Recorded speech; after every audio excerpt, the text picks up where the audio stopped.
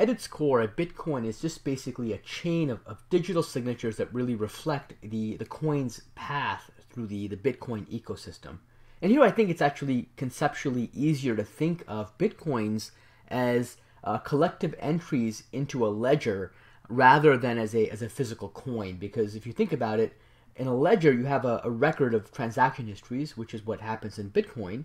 Whereas with a physical coin, um, it's more like memoryless. There's no history in a physical coin of where that coin has really been in the past. Okay, so in this context, you can think of a transaction as just a, a digitally signed uh, declaration by, by one party of its intent to transfer some bitcoins that they possess to another set of parties. And, and when I say one party possesses a certain number of bitcoins, I really just mean here that uh, there's some previous transaction on record that everybody's agreed to in which uh, the party now transferring the bitcoins was uh, was itself the recipient of a previous transfer of those bitcoins. All right. Now I realize it's a bit convoluted, so maybe to help better understand the mechanics of a transaction, I can do a, an example of what would happen in the context of a of a of an actual Bitcoin transaction. So let's say we have a party, and, and let's call her um, Alice, which is the uh, common name we use for for parties in in uh, cryptographic schemes. And let's say she wants to transfer uh, some bitcoins to Bob. Okay, and let's say she uh, would like, has an intention of, of wanting to transfer uh, 50 uh, bitcoins, uh, bitcoins to Bob. Okay, now remember that anybody who transacts in the Bitcoin ecosystem is actually not transacting under their real name uh, or their actual name, but rather they are uh, known by a very specific identity, a pseudonym within the, the Bitcoin ecosystem. And that identity, that pseudonym, is actually that actually corresponds to a public verification key for a digital signature scheme. So in this case, uh, let's say Alice's identity in the system is really some some public verification key, which we'll call um, uh, VK of A, so Alice's verification key. And uh, in the context of Bob, let's say his public verification key is uh, some VK uh, sub B. So these are keys that are used uh, within digital signature schemes.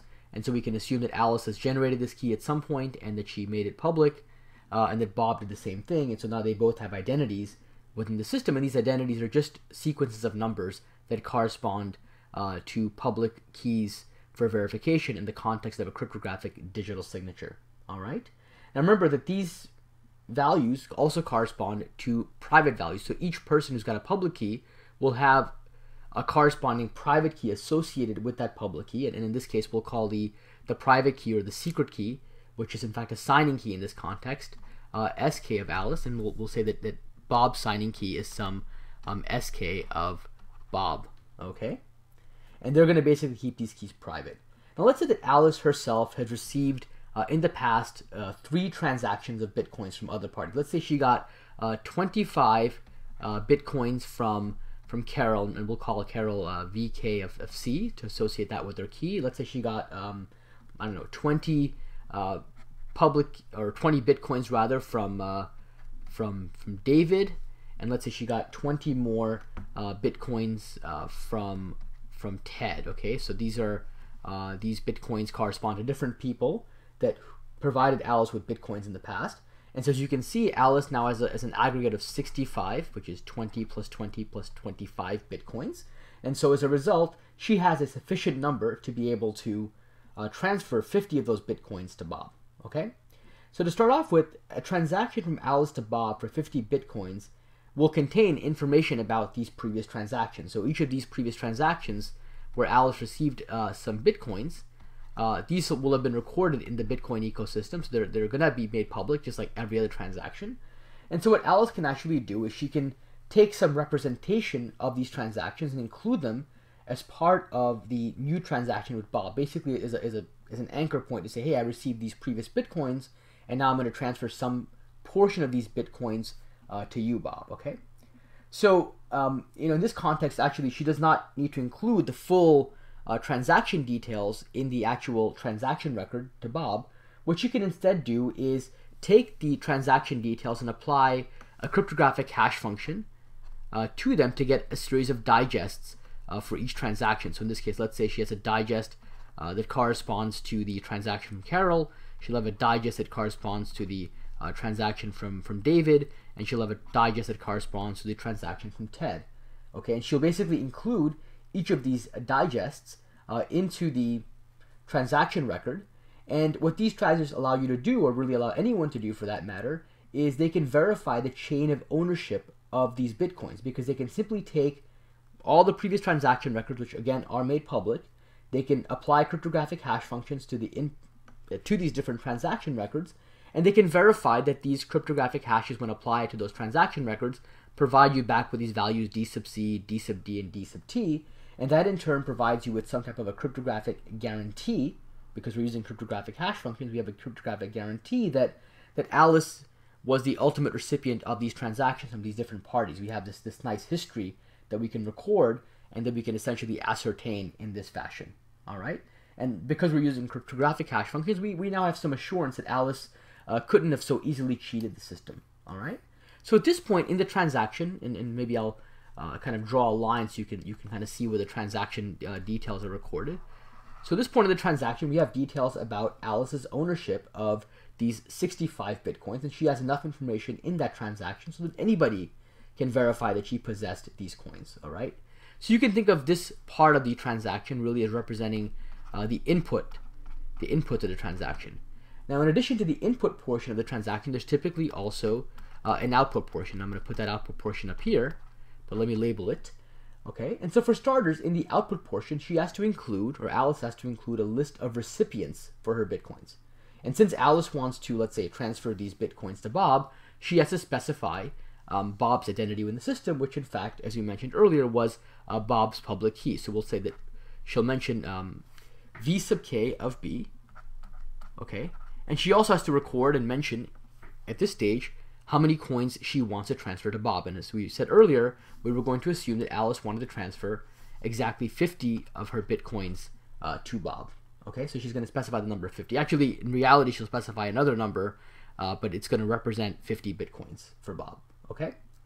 Now, in order for Alice to get back change, because she has 65 bitcoins kind of coming in and she is only giving 50 back to Bob, what she might then do is decide that she's going to specify 14 of those bitcoins to be returned uh, back to her in the form of, of change. Okay, so uh, 14 of those bitcoins are going to be reassigned back to uh, Alice's public key. All right. And what Alice will then do is she's going to take all of this data, this this transaction data, this input and this output, and she's going to digitally sign that data. And she's going to use her signing key, her signing key, to digitally sign all this data like you would with a digital signature. And she's going to append that signature uh, to the actual contents of the, the transaction record. And that'll effectively bind Alice's identity with the transaction record itself, okay? And, and the reason it's going to bind it is we're using a digital signature scheme.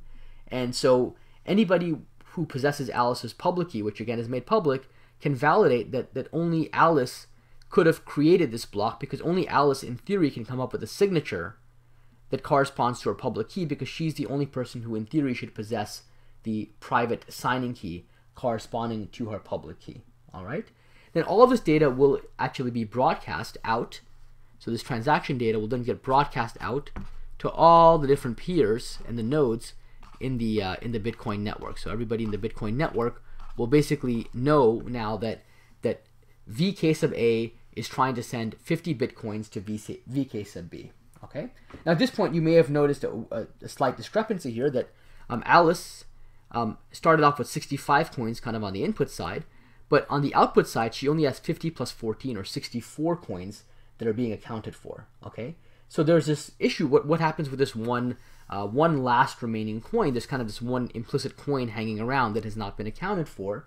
And what we're going to do with that coin is that coin is actually going to be used as a transaction fee. Alice is going to be Alice is basically saying that, that this one leftover coin should be provided as a, as a transaction fee to what's known as a, a Bitcoin a Bitcoin miner. Okay, and a Bitcoin miner, as I mentioned in a previous video, is basically a an entity in the Bitcoin system. Anybody can be a Bitcoin miner, actually, but it's a node in the Bitcoin network who engages really in the effort to help with the, the broader validation of this transaction.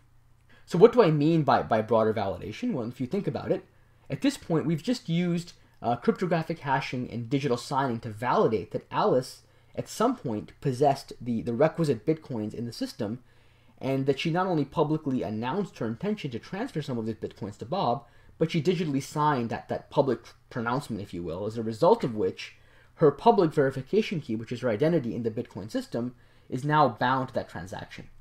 But what Bob doesn't know yet, even though he knows all these things and he can validate them, what Bob doesn't know yet is whether Alice tried to, let's say, previously sign or assign those exact same coins to somebody else. Like maybe there's another party. Um, let, us say, um, you know, Alice has a friend named Eve. Okay, maybe uh, Alice decided she's going to send these bitcoins not only to Bob, but also is going to try to send these same bitcoins to Eve.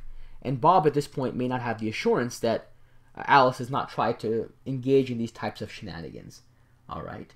And so the tricky part here is that even though all the transactions we, we've talked about have been made public, because Bitcoin requires all transactions to be made public, we still need a mechanism, and this has to be a decentralized mechanism that does not require a, a trusted third party per se.